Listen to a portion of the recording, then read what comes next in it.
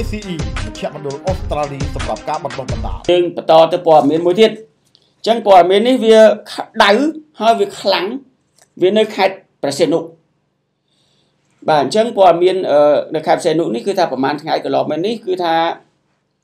ខាងសមត្ថកិច្ចនិងអាជ្ញាធរពាក់ព័ន្ធបានចាប់ជនជាតិចិន127នាក់ដែល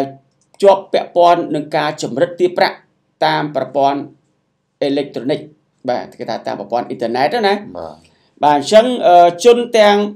127នាក់នោះគឺថាត្រូវបានក្រសួងមហាផ្ទៃរៀបចំចាត់ចែងបញ្ជូនគាត់ឲ្យវិលត្រឡប់ទៅស្រុកកំណើតរបស់គាត់វិញហើយទៅកាត់ទោសនៅប្រទេសរបស់គាត់ទៅព្រោះថាអឺសមាជិករបស់កម្ពុជា បានផ្ទេរផ្ទូជនជាប់សង្ស័យទៅឲ្យប្រទេសដើមវិញបាទអញ្ចឹងការបង្ក្រាប ជនទាំង127នាក់នេះគឺបានធ្វើឡើងនៅទីតាំងទី1នៅអាគារជាន់ទី5ស្ថិតនៅក្រុម26ក្រុម2សង្កាត់4ក្រុងបរសេនុបានរកឃើញជនសង្ស័យ117នាក់ស្រី9នាក់បាទហើយក្នុងនោះគឺថាតាមដីកាគឺ53នាក់អត់ដីកា12នាក់បាទហើយទីតាំងទី2គឺនៅវីឡាទឿ Royal Princess Royal Princess នេះគឺបោះអង្គញាម្នាក់ដែរខ្ញុំដឹងខ្ញុំស្គាល់ មានអាស័យដ្ឋាននៅក្រុម4ភូមិ3សង្កាត់2ក្រុមប្រសិទ្ធនុរកឃើញជនអាស្រ័យចំនួន15នាក់ស្រី2នាក់បាទអញ្ចឹងបើយោងតាមលោកឧត្តមសេនីយ៍ឯកអ៊ីសុខីអឺលោកបានឲ្យដឹងថាជនសង្ស័យទាំងអស់នោះគឺថាត្រូវបានបញ្ជូនមកកាន់អគ្គស្នងការនគរបាលជាតិដើម្បីសួរនាំហើយនឹងរៀបចំនីតិវិធីបញ្ជូនពួកគាត់ទៅកាន់ប្រទេសដើមរបស់គាត់វិញដោយសារពួកទាំងអស់នេះ គឺមករកស៊ីដើម្បីចាប់ចម្រិតជនជាតិចិនគ្នាគាត់បាទបាទអញ្ចឹងបទល្មើសទាំងអស់នេះគឺត្រូវបានបញ្ជូនទៅប្រទេសដើមរបស់គាត់វិញបាទអញ្ចឹងយើងសង្កេតឃើញថាជនជាតិចិនភាគច្រើនមករកស៊ីនៅកំពង់សោមយើងមានអ្នកល្អគឺមានអ្នកអាក្រក់អ្នកខ្លះគេមកវិទ្យុត្រឹមត្រូវទេ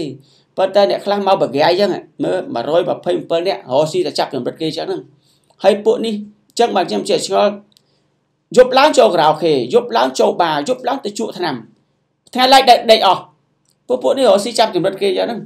ប៉ុន្តែបើអ្នករកស៊ីពិតប្រកបអ្នកគេថាមានគេថាអាជីវកម្មគេច្បាស់លាស់ព្រលឹមឡើងគេចេញធ្វើអាជីវកម្មហ្មងយប់ឡើងគេដេកគេអត់ដើរដើរទេនឹងអ្នកដែលរកស៊ីត្រឹមត្រូវដែលជនជាតិចិនដូចគ្នាប៉ុន្តែមានជនជាតិចិនខ្លះនោះគាត់បកាយមកពេញខេត្តសៀនុហ្នឹងអញ្ចឹងនេះគឺជាចំណាត់ការតឹងរឹងមួយទៀត ក្រោមការដឹកនាំរបស់លោកអាបាខេតគូចម្រើននិងលោកស្នងការនគរបាលខេត្តក៏ដូចជាលោកមេ PM ខេត្តបាទដែលនាំគ្នាសហការបានយ៉ាងស្អិតរមួតឈានទៅដល់ការចាប់ខ្លួនជនជាតិចិន127រូបនេះបាទបាទលោកឧត្តមមានអីទៅបន្ថែមបាទគឺថាមានអីទេបាទខ្ញុំចង់និយាយថាមេខ្លាំងគឺកន្លែងនោះក៏ខ្លាំងដែរបាទគឺថាតមេខ្លាំងបាទការងារទាំងអស់គឺល្អហើយរលូនទៀតបាទព្រោះអីដោយសារអេដាម គូចចម្រើន ដែលជាអបាលនៃគណៈអបាលខេត្តព្រះសីហនុបាទដែលគាត់ចាត់ចែងតាមវិធានការក្តៅរបស់គាត់ ច្បាប់គឺច្បាប់ បាទល្អគឺល្អ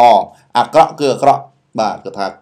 លោកយកច្បាប់មកអនុវត្តអញ្ចឹងបទបញ្ជារាល់បទបញ្ជាទាំងឡាយហើយរាល់បទមើលទាំងឡាយបាទគឺថាឲ្យតែដល់ដៃដល់តិចរបស់អេដាមគូចចម្រើនហើយគឺចប់ហើយបាទ នៅកន្លែងណានៅក្នុងរុនតាណាក៏ទៅចាប់ដែរបាទឲ្យតែប្រព្រឹត្តបទល្មើសឲ្យតែអ្នកខុសច្បាប់